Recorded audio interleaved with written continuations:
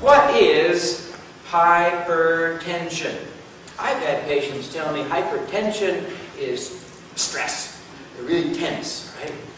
And uh, they thought that's what hypertension was. No, you can actually be very calm and have hypertension because hypertension refers to the pressure in the blood vessel walls. This is technical. Blood pressure is the force of blood pushing against the walls of arteries as it flows through them. How do we measure it? Did some of you had your, have your blood pressure taken when you came in? Some nurses in the back taking blood pressure. And they put that cuff, that's what they call it, that band around your uh, arm, usually. It can be done in other places too, but they put it around your arm and then put a stethoscope over the blood vessel and pump it up while they see what kind of happens to the pressure. Maybe you've seen the dials. Try it yourself. Here's what happens. The blood is going through the artery in your arm. It's going past the bend in your arm where the blood vessel gets close to the skin. That's why we put the stethoscope or microphone right over that blood vessel so we can hear.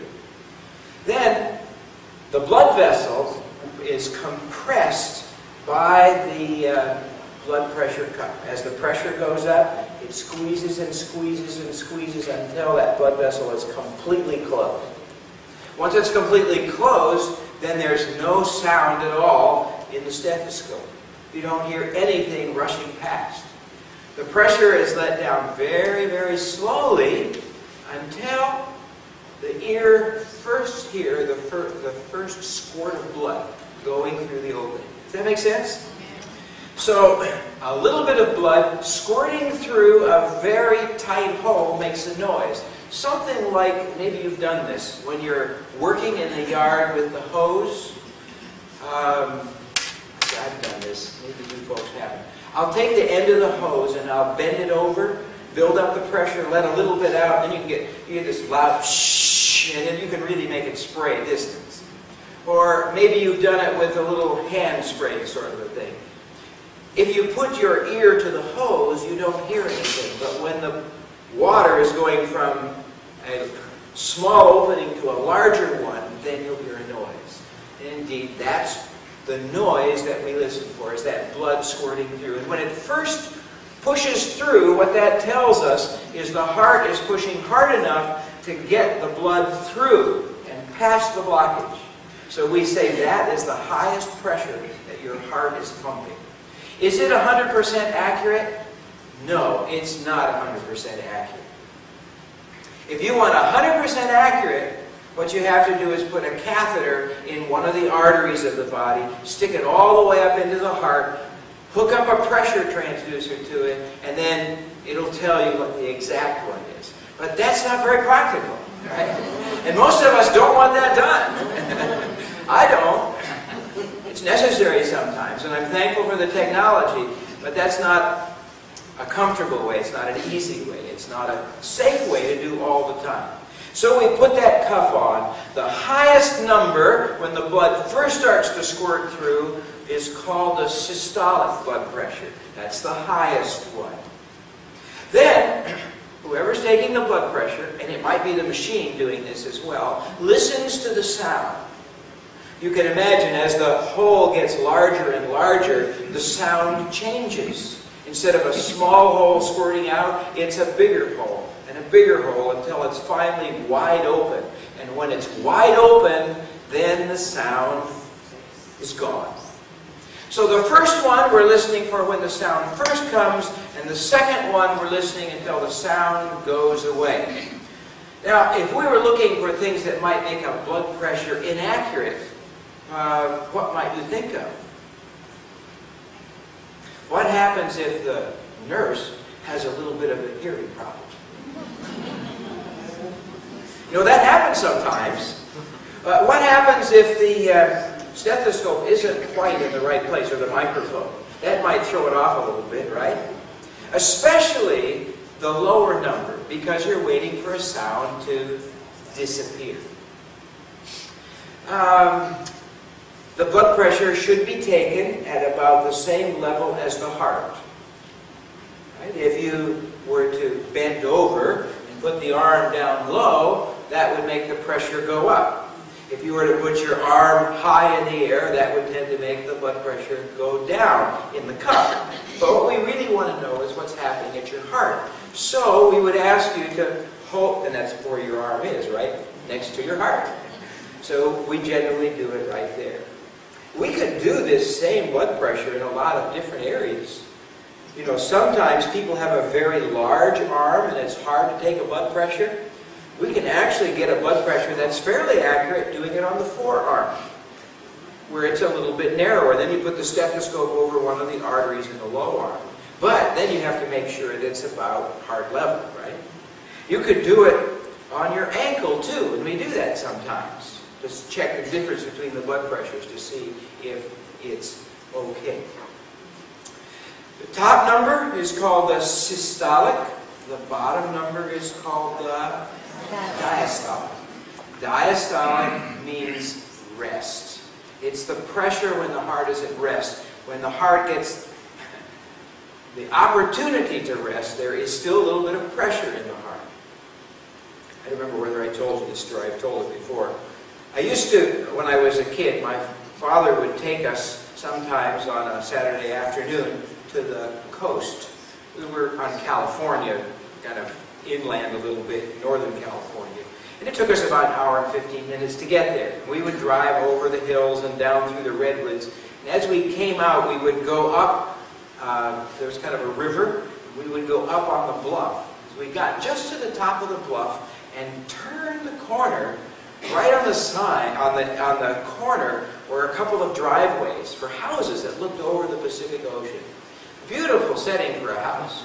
One of them had a sign on it that said D-I-A-S-T-O-L-E, diastole.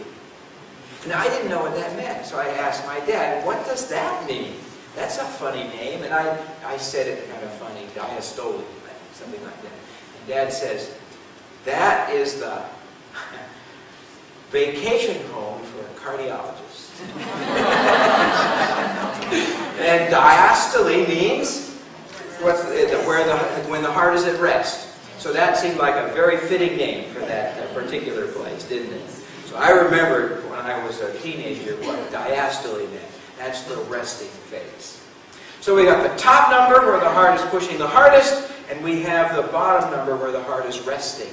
Do you think if that bottom number is high, that's good for the heart? Well, we need a little bit of blood, certainly, flowing, but if it's too high, that could be, the heart's not having an opportunity to rest. It's still under pressure. If the top number goes too high, that makes the heart work harder too, doesn't it? And if that top number goes too high, you might imagine that there could be breaks in blood vessels. The pressure was too much and the pipe popped. Why, that would cause a bleed somewhere. And maybe you've heard of things like that. Have you heard of a stroke? Uh, sometimes we have problems in the heart too, just because, like a heart attack, because it's been stretched too hard. Okay, let's have a look at the numbers.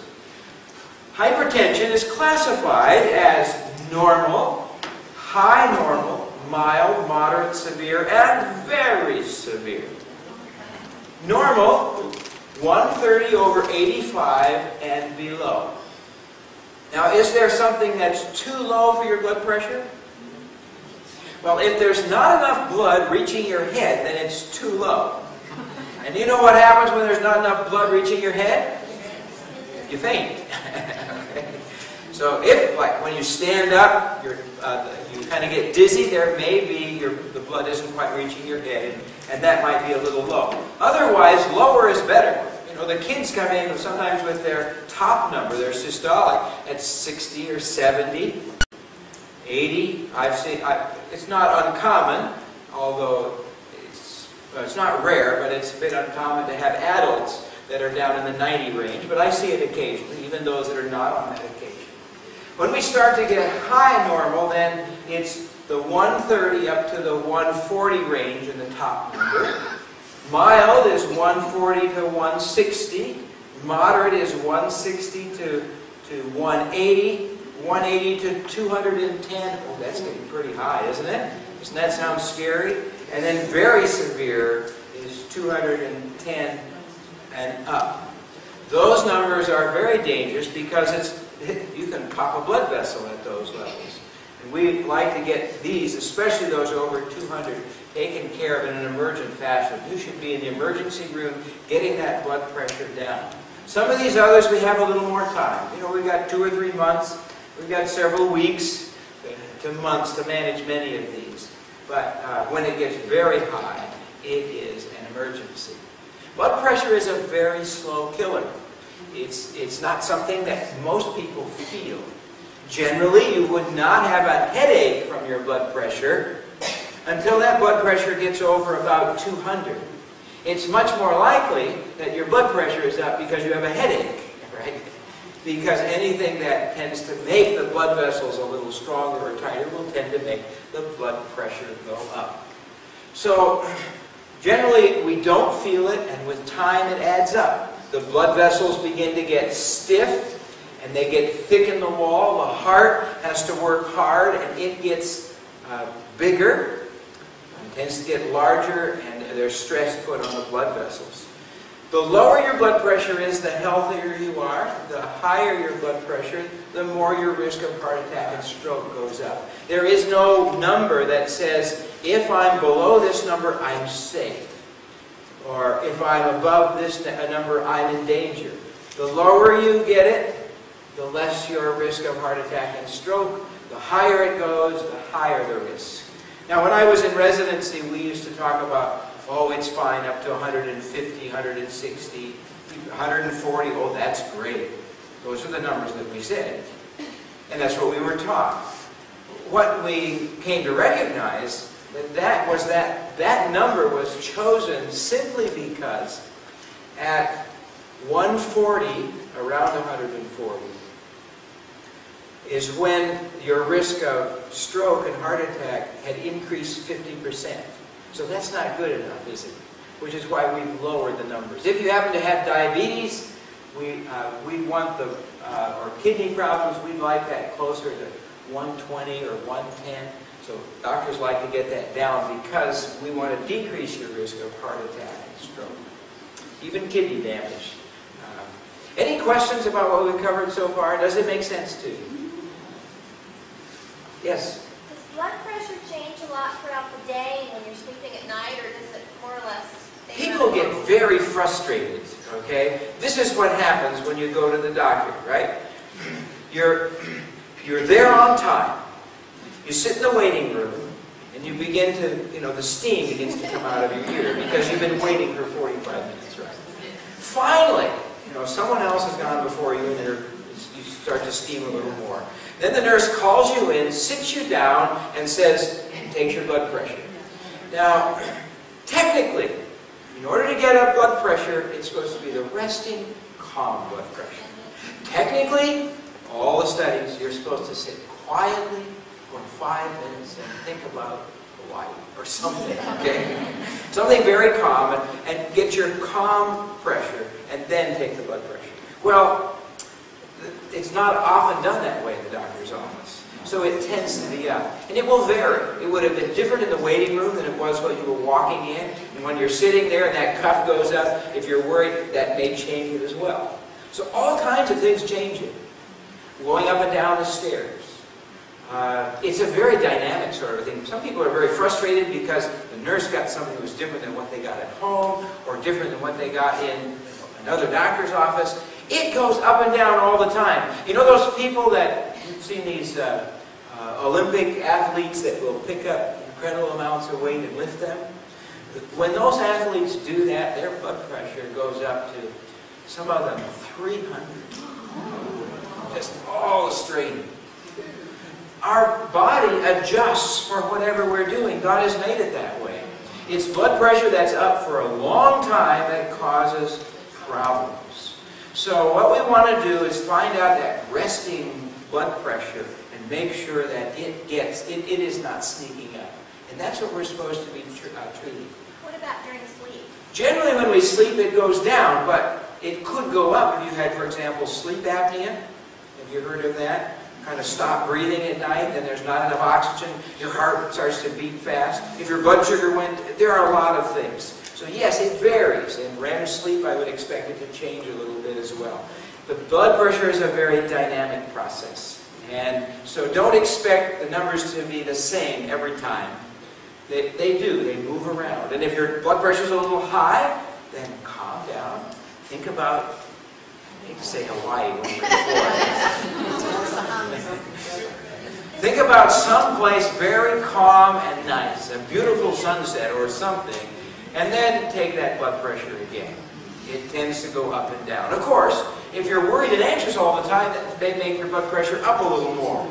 So a calm and quiet spirit might be a good thing to help the blood pressure, right?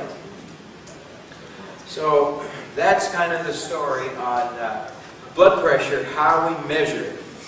What is it that puts us at risk for having high blood pressure?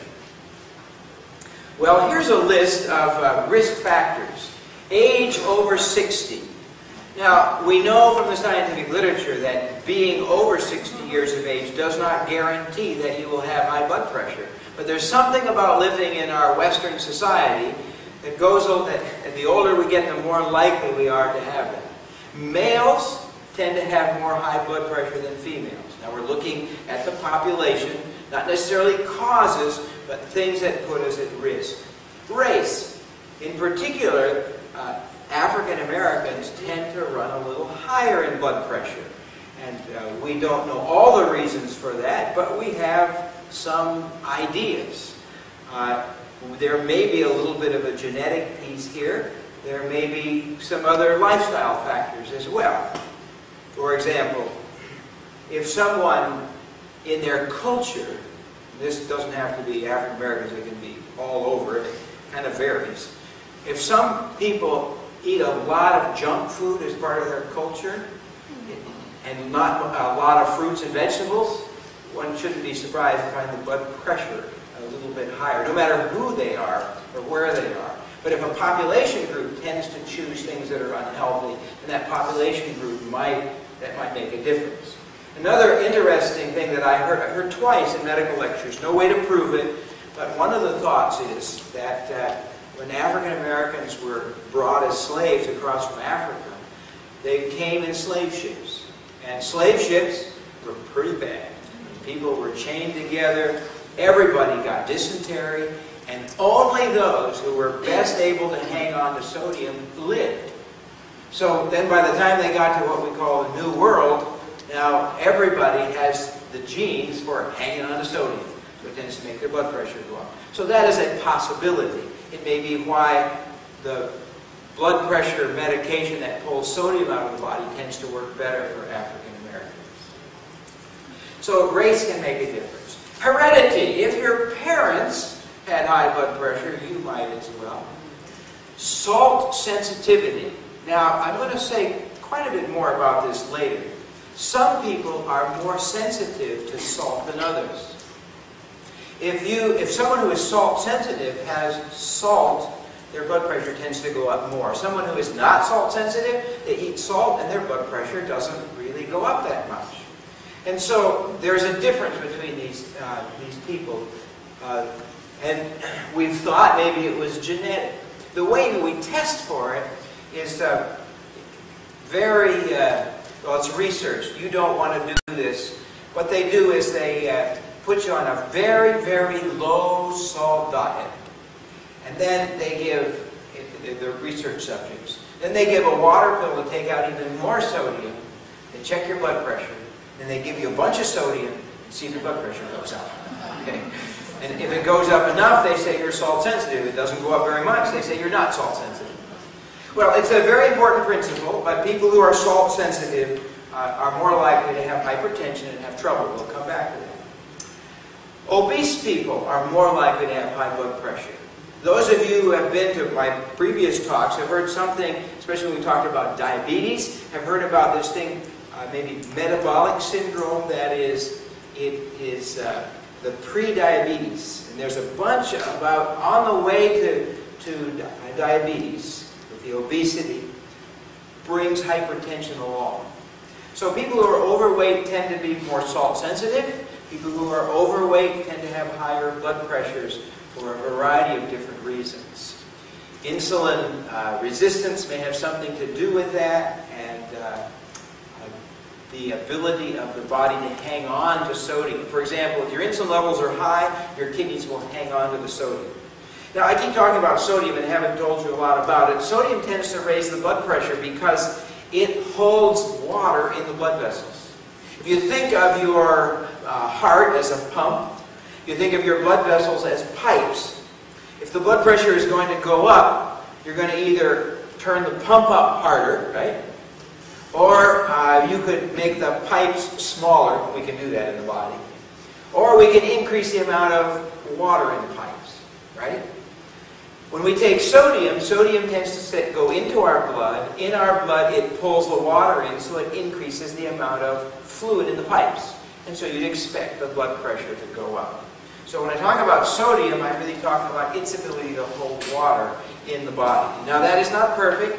I can tell you that uh, the body adjusts and uh, can manage that. Inactive lifestyle is associated heavy alcohol consumption and use of oral contraceptives. Now this is a, a rather mild sort of thing, but there is a, a small association.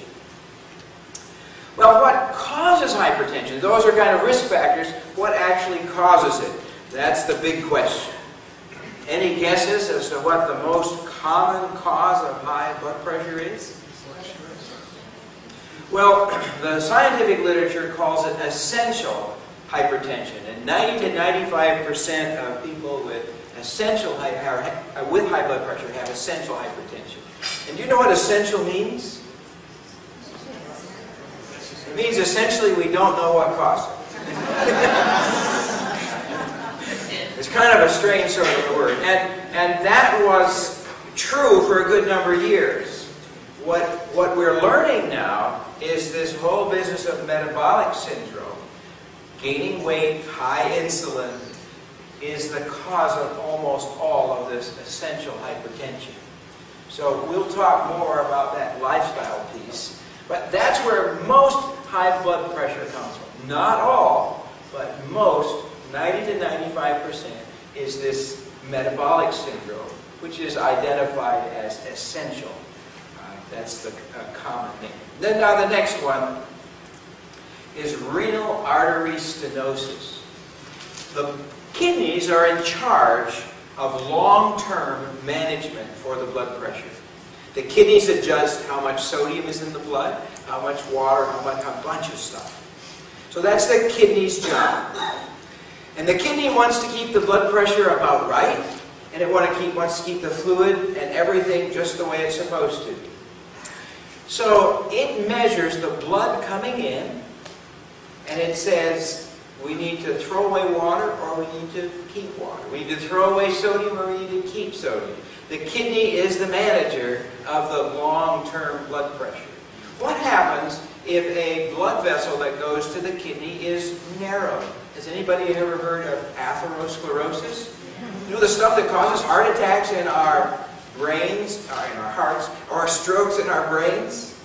Same stuff can affect the blood vessel that goes to the kidney. And if the kidney has a blockage, the kidney will say, there's not enough pressure to get the blood to me like it's supposed to. And it'll start sending out little chemical messages, raise the blood pressure, raise the blood pressure, raise the blood pressure. I had a lady come to see me several years ago. She uh, was frustrated. She didn't have diabetes. She was a little overweight, but not bad. She tried to live a healthy lifestyle, but her blood pressure kept going. And she said, I'm going to commit to uh, making a lifestyle change. I really don't want to use medication. So I helped her as best I could. And we gave it all we could. After two weeks, her blood pressure wasn't moving. Blood pressure sometimes takes a couple of weeks to start to come down. And I said to her, I think maybe you have a renal artery stenosis. Let's do a check. And so we did, and sure enough, that's what the blockage was. Until the kidneys stopped giving that message, make the blood pressure go up because it needed it. It needed the fluid to, throw, to flow through the kidney. the kidney was going to be sending those messages, and the heart and the rest of the blood vessels were going to be responding. What, what did we do? Why, we sent her to uh, an interventional, uh, I think radiologist kind of did it. They, they put in, they did, have you heard of an angioplasty? They did an angioplasty on her renal artery, the artery to her kidney. It opened up. She didn't need her medication anymore. So that's, that was another cause of hypertension. While most people come in with essential hypertension, we hate to miss one of these other causes, right?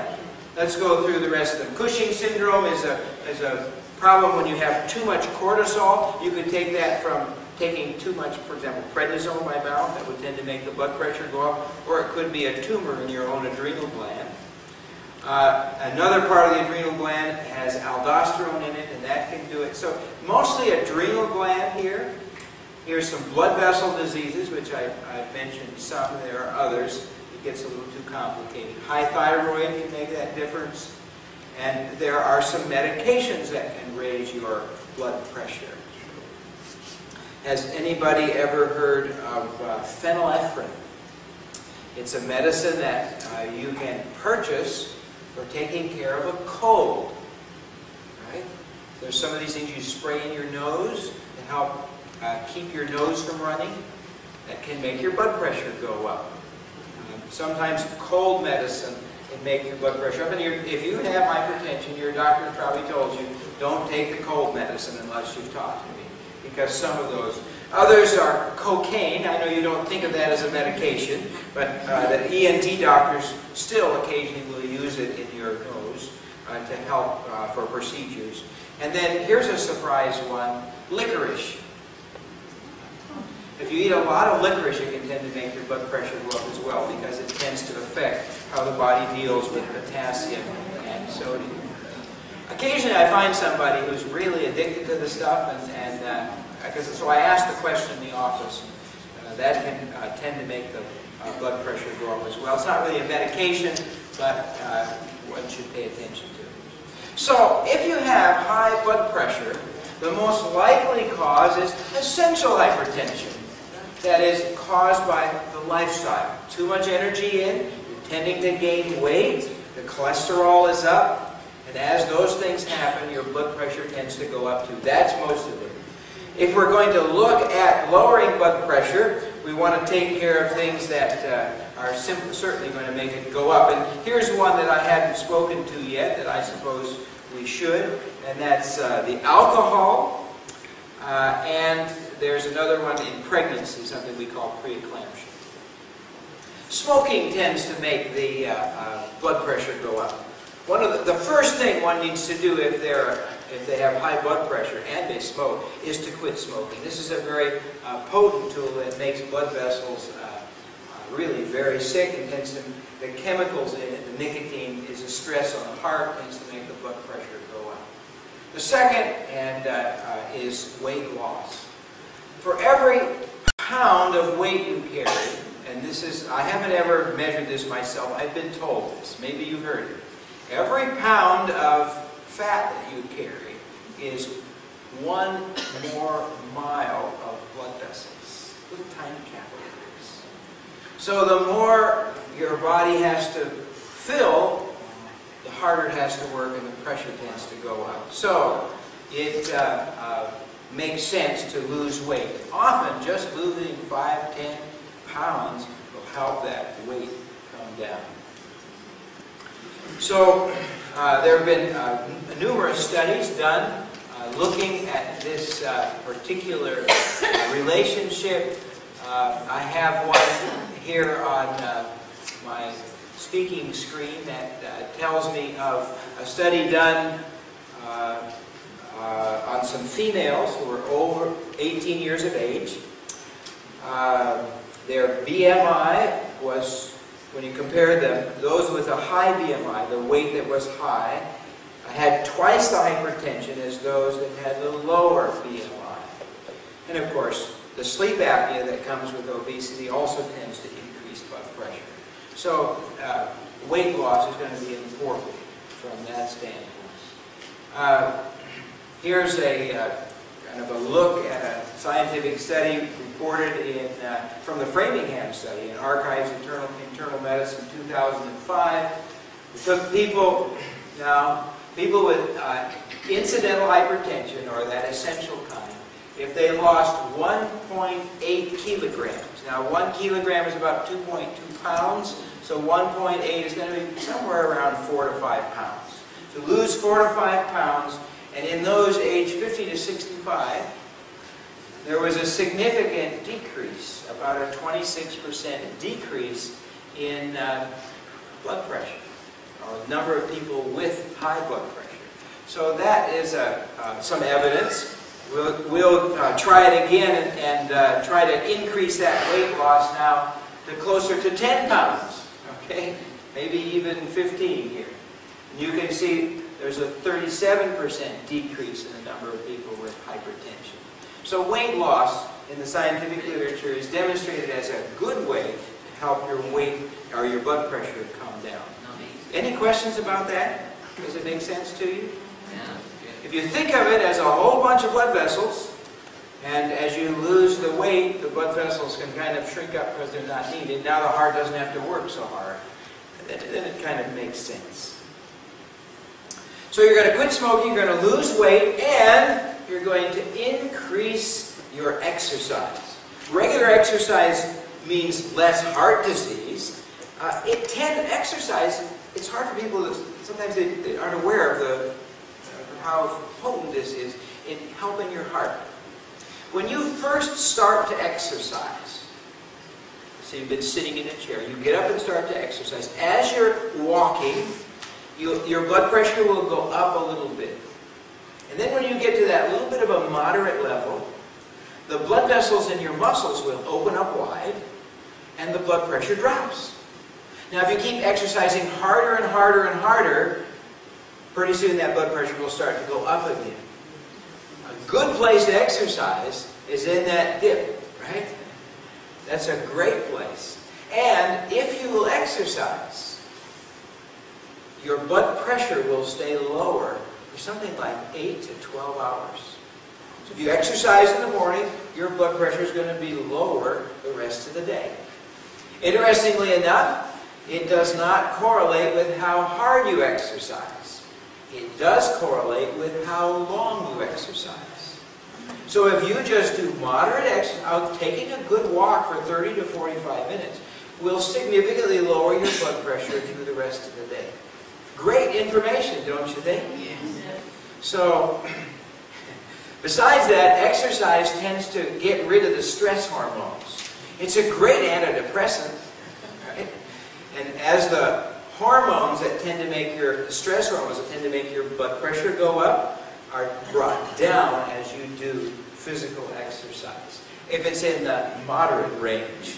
If you get up too high, so you're really stretching and puffing and huffing, and your heart's having to work uh, extra hard, then the blood pressure will go up. But in that moderate range is where you get the most benefit. So blood pressure is uh, beneficial. Now the next one down here is restrict sodium. I'm going to tell you the party line at present on sodium. I've been doing some research into the scientific literature on sodium, and I will tell you that I have questions about the validity of what is commonly told us about sodium. So let's talk about sodium. We've already mentioned that if sodium is in your blood, it tends to hold the water in. And if there's more water in the pipes, then your blood pressure would you'd expect it to go up. And indeed, that's what happens. If you are eating a low sodium diet, and you're a normal person with a little bit of, or somebody with hypertension, if you take a bunch of sodium, your water will, your, your body will retain more water, and your blood pressure will go up a little bit. On average, about 3 or 4 millimeters of mercury. So if your blood pressure is 130, it might go up to 133 or 135. If you're salt sensitive, it might go up 10 or 15 points. But if you kept taking that amount of sodium over several days and you had enough water, your kidneys would adjust and your blood pressure would come, for most people, would come right back down to normal. So a lot of people are surprised about that. So we don't want too much sodium. Too much sodium can lead to problems. The scientific literature tells us this. But there's also some evidence that too little sodium can also cause significant problems. So let's talk about this restricting sodium. And I'm going to tell you the party line first, and then I'll tell you a little more of some of the things I've discovered and try to put them in perspective. I think you'll appreciate it as uh, good news by the time that uh, we're done. Let's see, I have just a little bit more in my uh, notes here. Um, and I want to remind myself exactly what I put down in my notes. Uh, a bunch of salt fed to people. Um, I'm going to move on to the next one here. Okay, here's the salt story. One gram of sodium. Did the doctor ever tell you you need a one gram or two gram sodium diet? One gram of sodium is about 2,500, I'm sorry, 1,000 milligrams is the same as one gram. It's the same as 2.5 grams or 2,500 milligrams of salt. Because salt is made up of two things. What is it? You remember? Sodium and chloride. And the chloride is 60% of the weight, and the sodium is 40% of the weight. So when the doctor says, I want you on a 2 gram sodium diet, what he, what he or she is saying is then you get about 5 grams of salt, or 5,000 milligrams of table salt. Does that make sense? Even the doctors get confused about this. So salt is 40% sodium by weight, one fourth teaspoon of salt is about uh, one fourth is about 1.5 gram, which is about 590 milligrams of sodium. So one teaspoon of salt is about equivalent to one gram of sodium. So that gives you, I think, a practical ballpark. When the doctor says two grams of sodium, that means about two teaspoons of salt. And that would be level teaspoons, not heaping ones. Any questions about that? I've seen doctors confused. I've been confused over this. Okay, because we talk about on two grams of well, and then two grams of salt. No, that's not quite right. And uh, this is this is kind of where it should add up. So that gives you a, a picture of the amount of salt that is asked for. Let's see where we get it in our diet.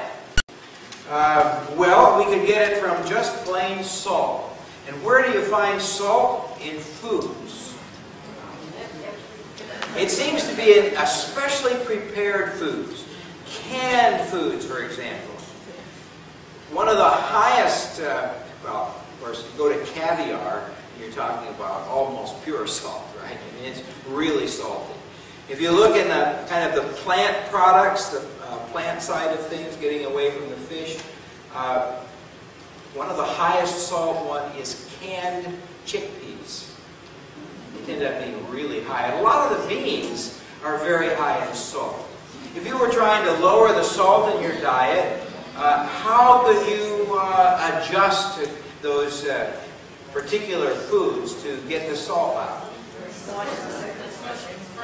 You can cook them fresh yourself and then add a little salt to taste. That would be reasonable. Then you have control of the salt. Because there's not a lot of sodium in the beans themselves, for example. Another thing is, uh, is uh, canned, like green beans. One of the things you can do is pour off the water add your own water to kind of heat it in so you get rid of the salt that's in the water. That's something that can help. Those TV dinners, have you ever seen those things? Ooh, those are high in salt. Check them out. Often you'll have one and a half times your whole day's worth of sodium in one TV dinner. So, uh, Cheese often has a lot of salt in it. So there's a lot of salt hidden in the foods. Look at your labels to find out how much you're getting, and then look for ways to decrease it. Anybody ever heard of monosodium glutamate, MSG? Well, that has sodium in it. It uh, gives you some nice flavor, It's just one sodium along with the glutamate, so it's not too bad, but it's still a, it has sodium. Baking soda, have you ever seen or heard of that? That often uses other sodium salts. Baking powder as well. And then there are some other things. Maybe you've seen these in labels. Disodium phosphate. Yes? Sodium alginate. Sodium benzoate. Sodium hydroxide. Sodium nitrate. You, the sodium is all there. And these kind of uh, additives uh, are generally on the small side. There's not a lot of them, but they each add a little bit of sodium. Uh, sodium nitrite, for example, in cured meats and sausages. Uh, you see sodium hydroxide is uh, to soften and loosen the skins off of olives, some fruits and vegetables. Sodium benzoate is a preservative, relishes and sauces. Sodium alginate used in many chocolate milks and ice creams to make a smooth texture. And then the disodium phosphate is in quick cooked cereals and processed cheeses. Sodium propionate is used in pasteurized cheese. The propionate itself is actually good for you. The sodium may be a concern. Sodium sulfite is used to uh, help uh, bleach some fruits, and you can get quite a bit. If you would like to uh, see these slides and have a copy of them, and actually there's a whole uh, sodium in foods handout on my website. Now it, it's turned yellow, so it's very hard to see, isn't it? www.aclm-articles.net. And if you look in there under sodium, you should be able to find the uh, sodium in foods handout. What's that again? I'm sorry, it's in yellow, and it's hard for me to control the color because it, the machine kind of does it. Bill Gates that I think it's for. www.aclm-articles.net. ACLM stands for American College of Lifestyle Medicine. Dash, and then articles, because I've got a lot of scientific articles in there, and then .net. If you look under sodium, you can, you can get that uh, list of foods that are, are very high in sodium. Okay. Any other questions about the amount of sodium in food? Yes? You have no salt, you know, if you don't want to take salt, you have to have salt.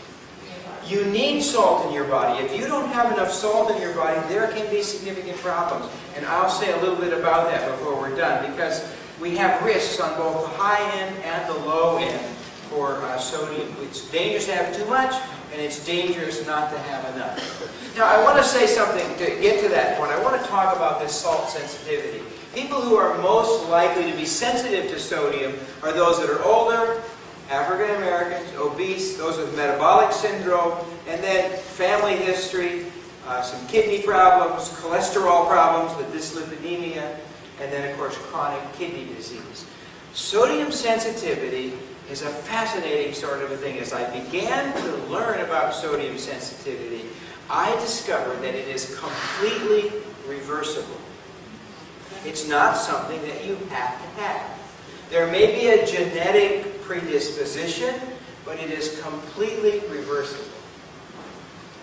It ends up that sodium sensitivity may be more important, or at least as important, as hypertension in, as a cause of death. People, for example, who have high blood pressure and normal sodium sensitivity have the same death rate as those that have normal blood pressure with salt sensitivity. Some people have normal blood pressure and salt sensitivity. Those people are going to die younger and sooner as well. Now, if you really want to get bad, you get high blood pressure and uh, sodium sensitivity. So what do we have to do to get rid of it?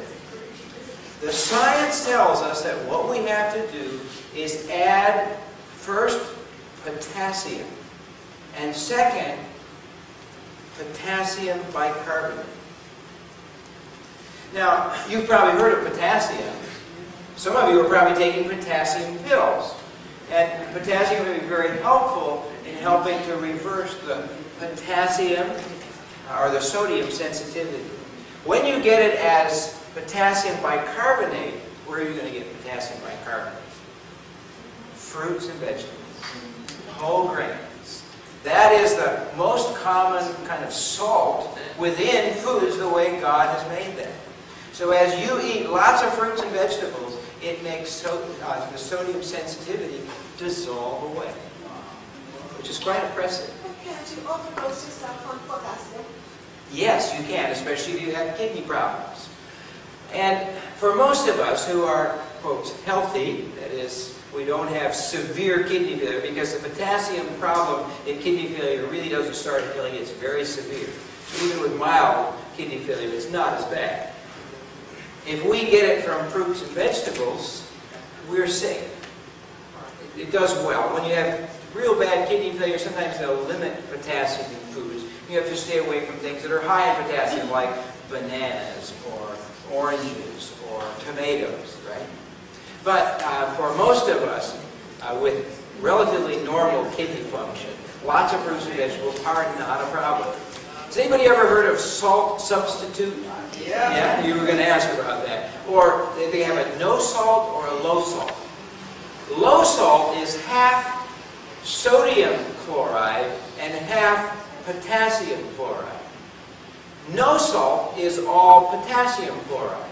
And especially people who are on some medications, like uh, captopril or uh, what we call the ACE inhibitors, if you use too much of that, it's like taking a potassium pill. It's much better to get it in the plants. So you can use that as a tool, but I wouldn't use lots and lots of it. It could cause some problems. It does make sense to move the sodium to the potassium, but I'd rather you get it from the fruits, vegetables, and whole grains. Any other questions? Lots of potassium bicarbonate, lots of fruits and vegetables tends to reverse sodium sensitivity and help the blood pressure come down. That is very good news. One of the first studies done to look at sodium and health uh, was, let's see, they call that the INSALT, I think, study. I-N-S-A-L-T. And They looked at a whole bunch of countries intake and their blood pressures. And what they found uh, at one end to countries like Papua New Guinea and the rainforest of Brazil, as they looked at different populations, these people had very low sodium and had very high intakes of plants. And then they went to the Western cultures where they had higher amounts of junk food and much less plant. And in that spectrum, they found that the more uh, salt, the higher the risk of, uh, of, of, of, stroke and death and a heart attack and those types of things. So uh, they, that was our first intimation that too much salt might increase your risk of heart attack. It was a bit of a surprise to find out as I researched this that if you took off the three or four countries on the very low end that ate a whole lot of fruits and vegetables, if people were too low in their salt, they could actually increase their risk of dying. It looks like there's a bit of a J curve. That is, if your salt gets too low, your risk of dying goes up, and if your salt goes too high, your risk of dying goes up. When your salt is too low, it tends to increase the nerve sensation, we call it sympathetic nerve uh, tone, to the blood vessels, making them smaller and tend to making the blood pressure go up. It also activates the system we call the renin-angiotensin system, which is supposed to try to raise the blood pressure. Come on, it's got to be up a little higher. It needs to be a little higher. And that particular system can make atherosclerosis worse. And that may be part of the reason. And then it tends to make, when your salt is way too low, it tends to make your insulin resistance worse. So it could make even diabetes a little worse and make hypertension worse by that mechanism. Now, you've probably never heard this before. People always said, lower your salt, lower your salt. I wanted to know how low is too low, right? How, low, how high is too high? And where's the middle? From the uh, literature so far, we know that people who are overweight uh, getting the sodium lower is protective. People who are normal weight, getting the sodium too low may make them worse instead of better. So it's not clear across the board. Everybody, uh, it's safe to have very low sodium. People who have kidney failure, people who uh, have congestive heart failure, for example, and people that are really overweight uh, should be careful about uh, getting too high. That is, they can do better with lower sodiums. But for most of us, if we drink plenty of water and we get our fruits and vegetables, we can have a moderate amount. Where is that moderate amount? And that's kind of the big question that I've been trying to figure out. We don't have enough literature to be able to know for sure, but it's somewhere between 2 grams of sodium a day and around 4 or 5 grams of sodium today. It's somewhere in that range that our body can adjust. If we start to go higher than that, there's problems. If we start to get lower than that in populations, there's problems. In animal studies, if you get the sodium too low, they start to die sooner from complications. So we need salt, and we shouldn't remove it completely from our diet. I've had people, uh, people who were very compliant with their doctor's recommendation. You need a low salt diet, and I want it really low. And they get really good at getting it low. They take it all out of their diet. I've seen they come in with sodiums that are very, very low, so low that it's causing symptoms. So I tell them you have to increase a little bit. That can be a little bit dangerous. At the same time, you don't want a whole lot. So it, that range in the middle is where one needs to be. You wish I could be more specific, right? I guess what I'm trying to say is the best way to manage this is to eat lots of fruit and vegetables and use salt moderately. Don't highly restrict it because there's danger on that end. If you have congestive heart failure, if you have kidney disease, that's a different story. Follow your doctor's direction. But for most of us, our body knows how to adjust. And if you take moderate amounts, the average American, according to science, takes about three and a half grams of sodium a day, 3.5 grams. And the doctor will ask you to restrict down to about two uh, I wouldn't want to go any lower than that. I, it's probably safer to be around two and a half for those of you that really need to restrict it. And I don't know that I would want it to go any lower than that. So, but avoid lots and lots of it. Men tend to take more salt than women, right? Uh, and so their level tends to be a little higher, and of course, maybe that's why men have a little more problem because once you start to get up to 5, 6, 7, 8 grams, some of the studies go up to 11, 12, 15 grams of sodium today. It's incredible. When you start to get up really high, then there's an increase in heart disease. Okay? Any questions about that? I, I mean, I've stepped on, I, I've probably brought you some new thoughts. My opinion is doctors should not spend so much time trying to get people to decrease their sodium if they don't have congestive heart failure or kidney disease. They need to encourage people to eat more plants. That would be a whole lot better because you can completely reverse sodium sensitivity by eating plenty of plants. And that, that, I think, should be the biggest emphasis.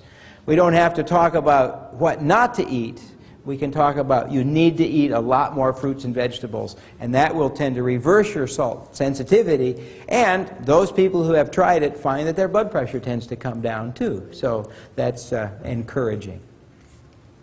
Well, if I don't see any more hands, I'm going to move on to the next slide here. So, we're going to quit smoking, we're going to lose weight, we're going to exercise, restrict uh, potassium, uh, yes, Somebody's after me.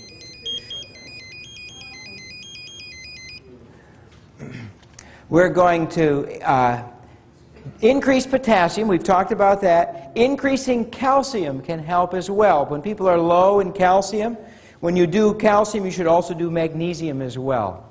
So, if you put somebody on a low sodium diet, the average drop in blood pressure the top number is about 3 to 4, maybe, millimeters of mercury. It's not very much, low single digits. Potassium, uh, replacing the potassium is at least as important as lowering the sodium. And then increasing calcium and magnesium can also be very beneficial. For many, since many people are deficient in magnesium, that can be uh, very helpful. Uh, and that has been helpful for more than one person. So our lifestyle needs to change. We've gotten uh, kind of low in calcium in our diets, although milk is helping to keep it up. But magnesium tends to go low, and we aren't getting enough potassium. This is a, uh, from a scientific article looking at how sodium affects the diet. You can see here's hypertension, this essential hypertension down here. We're trying to understand how they all work together. And we're not going to look at all the lines, it would be too confusing. But look here the Western diet is high in sodium, high in chloride, low in potassium, and low in this bicarbonate, and uh, it's high in the hydrogen. So, fruits and vegetables have a lot of this potassium bicarbonate. Meat makes a lot of this. This pattern tends to cause essential hypertension by a whole bunch of different pathways. We're trying to understand how those all work together. You might be surprised to find out that kidney stones come in here, that osteoporosis comes in here as well. So these diseases are all kind of linked together. And sodium, high sodium, can be part of the Western lifestyle that tends to be making blood pressure worse. Lifestyle treatment Get off of the caffeine. Caffeine tends to raise blood pressure. Green or black tea, the, the, the caffeine tends to be a problem. So you want to avoid the caffeine teas. Increasing fiber tends to lower the blood pressure, as per the scientific literature. Uh, fish oil, the omega 3 fats, can help lower the blood pressure a little bit.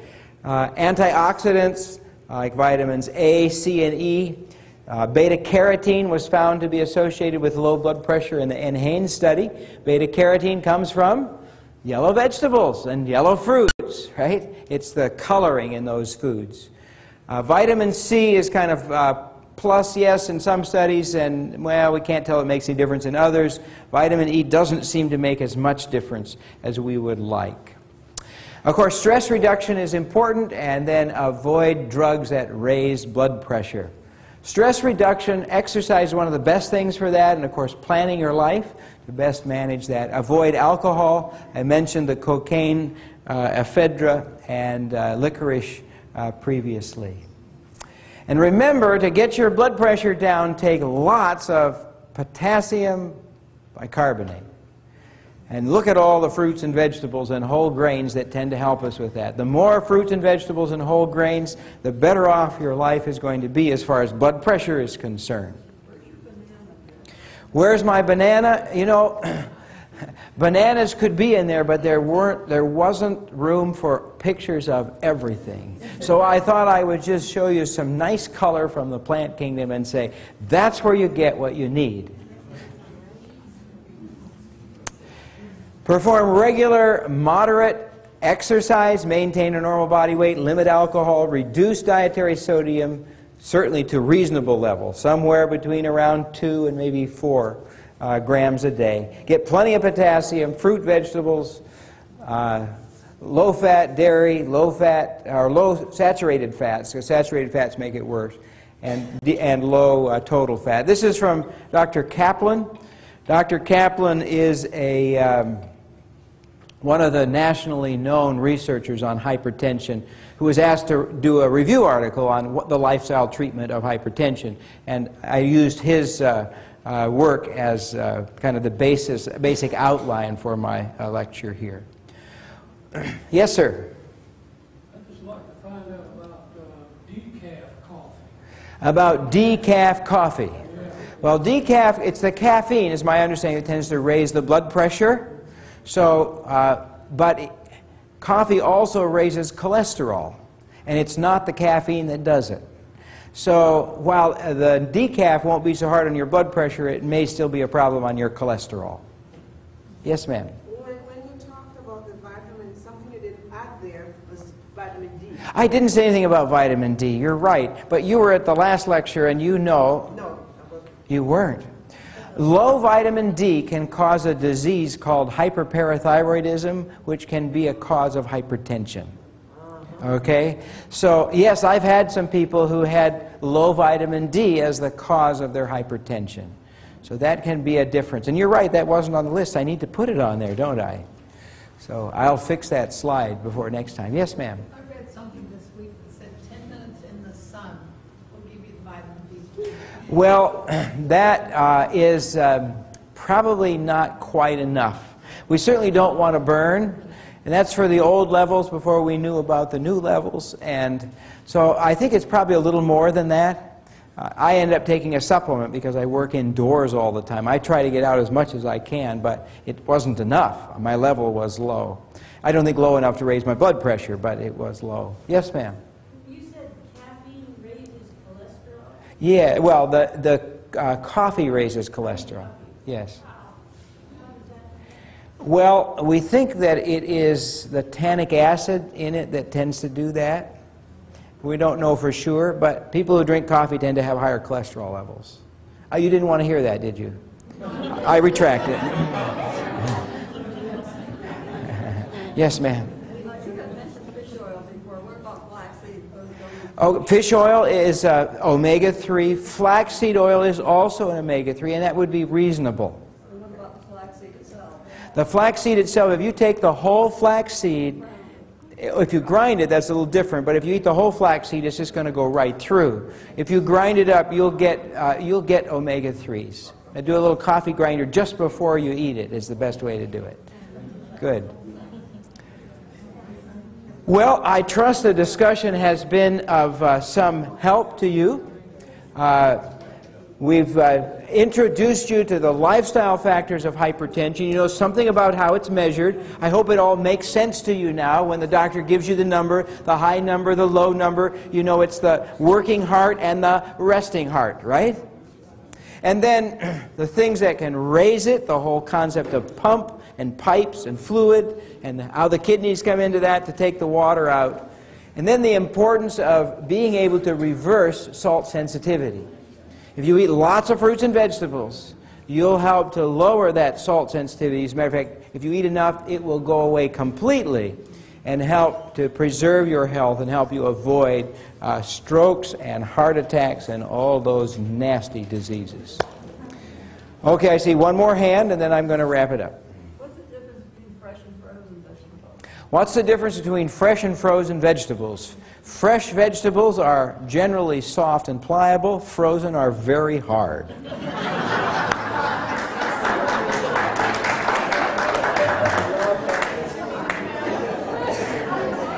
Generally, what they'll do is take a fresh vegetable and freeze it very fast, and it helps to maintain the, the, the, the nutrition very nicely.